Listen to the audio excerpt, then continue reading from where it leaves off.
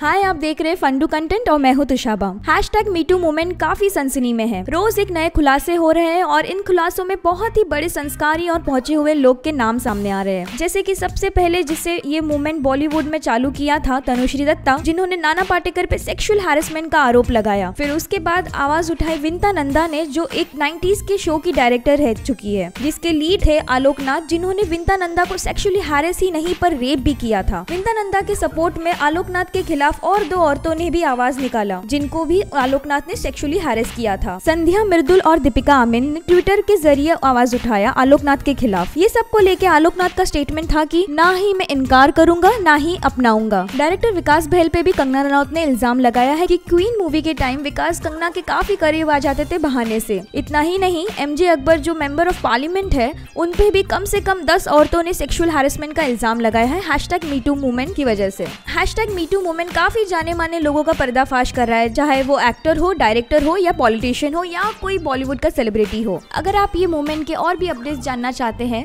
तो हमें सब्सक्राइब करना मत भूलिएगा। अगर आपको ये वीडियो पसंद आया है तो लाइक करिए, कॉमेंट करिए और शेयर करिए।